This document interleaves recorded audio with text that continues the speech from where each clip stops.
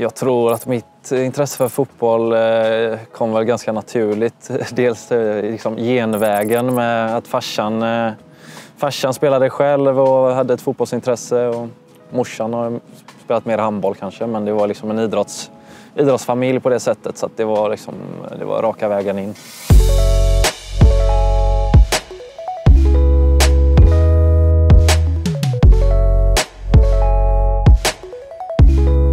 Eh, mitt intresse började väl eh, väldigt tidigt ska jag säga. Eh, jag är uppvuxen i en, en sporttokig och fotbollstokig familj så jag har egentligen inget, inget jätteminne av första gången jag sparkade på en boll och sådär men vi spelade ju redan alltså, när jag var tre, fyra kanske inne i, inne i huset och sköt ner massa tavlor och betedde oss och sådär. Sen mer organiserat var väl fem var vi då, då tror jag. Som började spela organiserat då med farsan som coach och sen har det rullat på sen dess.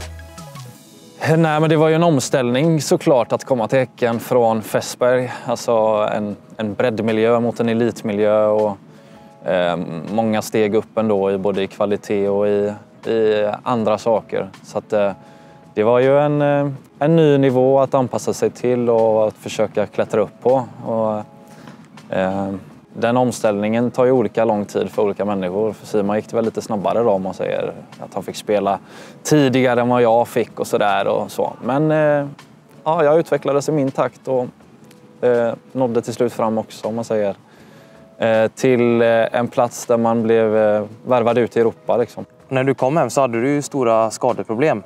Kände du någon tvekan kring din egen form inför förra året? Ja, det är klart jag kände tvekan inför min, liksom, min fysiska form i och med att jag hade varit långtidsskadad. Och, eh, då, man är ju inte, det, tar, det tar tid att komma tillbaka från det även när man är frisk så att säga. Du behöver ju liksom träna dig i form och eh, vänja dig med fotbollsspelet och med belastning och allt sånt där igen. Så att på så sätt fanns det en osäkerhet. Sen så har jag aldrig tvivlat på mig själv som fotbollsspelare. så det, jag tror inte att det funkar att göra det. Då tror jag att man blir uppäten ganska snabbt eh, om man inte tror på sig själv. Så där har jag aldrig varit. Men det är klart, när man har...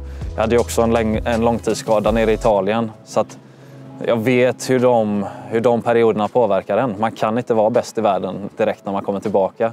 Så att hela fjolårssäsongen var ju på något sätt en upptrappning hela tiden där du skapar en grund till att jobba hårt varje dag och därmed så blir du bättre hela tiden. Och det tror jag var min nyckel, att jag hade hela tiden rimliga förväntningar och kunde därmed hela tiden bli, bli nöjd med mig själv och med laget. Sen ju längre säsongen gick desto mer trimmade blev ju både jag och laget. Liksom. Och därmed så sköts ju även förväntningarna upp. Men jag kände aldrig att jag blev sådär riktigt besviken under, eh, under fjolåret. Och så. Men jag tror också det är farligt att bara förvänta sig att det ska gå bra hela tiden. Så det är väl snarare inför kommande år, om man jämför med inför fjolåret då, så när jag inte hade några förväntningar alls, har jag ju stora förväntningar nu. Och då, det handlar snarare om att liksom, eh, ja, ta ner dem nu då. Eh, för att inte bli besviken och för att inte hänga upp det på det, utan att hitta en, en lagom nivå där man gör sitt bästa i sig själv och försöker ha kul. Liksom.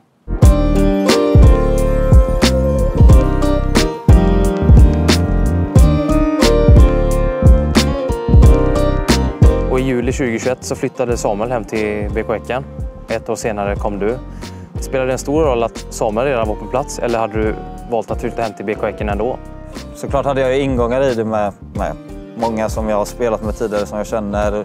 Ingång via Samuel, ingång via eh, sportchefen Martin Eriksson och så vidare och många i organisationen som gjorde att jag fick en bild av att det var eh, liksom, någonting på gång. Eh, liksom välstrukturerad eh, process som var igångsatt som, eh, som kanske lockade mig mest av allt. Då. Guldet i sig var ju en, ja, en stor bedrift, tycker jag. då. Men jag tycker nog att liksom sättet som vi lyckades göra det på var, var det som jag verkligen tar med mig och som jag verkligen liksom fylls upp av eh, i vår mentalitet, i vårt arbete vardagligen, i hur vi, hur vi tillsammans gjorde varandra bättre, hur vi blev bättre ju, ju viktigare matcherna blev etc. Eh, så liksom, det är klart att det är ja, historiskt med ett första guld till, till klubben men just sättet vi gjorde det på var inte liksom bara någon, någon, eh, någon flax att det, att det skedde utan det var ja, genomarbetat och, och solitt man såg era matcher i höstas så kändes det nästan som att ingenting kan stoppa er från att vinna guldet. Hade ni den känslan också? Ja, absolut så hade vi. Det, var, det, var en, det fanns en övertygelse och en, eh, en tro på det vi gör. Eh, dels från mig personligen, men jag kände ju också det i laget. Och nu när man är på träningsläger här nere så, så får man också tid att prata ännu mer med sina, med sina medspelare och sådär. Det är många som har uttryckt det, att det fanns en sån känsla av att vi kommer inte förlora den här matchen. Så. Sen, eh, och det är ju intressant i sig, men det intressantaste är ju hur man når, hur man når det, framförallt kollektivt. Då liksom. Eh, ja, men där man har en total kollektiv övertygelse om att vi kommer vinna den här matchen. Och det är klart, det är ju kanske en utopi som man inte får vara med, så många, eh, vara med om så många gånger under sin karriär. Men det är också jävligt beroendeframkallande att hamna där. Jo, det är en, det är en utmaning att kliva in som, som regerande mästare. Eh, samtidigt som liksom det, jag vet inte om det finns... Liksom, det är klart att det finns förväntningar både från oss själva och från eh, utifrån som, eh, ja, som kanske är ännu högre än vad det har varit tidigare. Samtidigt så är det ju... Jag, menar, jag, hade, jag hade hellre valt att vara regerande mästare än att ha ja, hamnat sjua förra året om man säger så.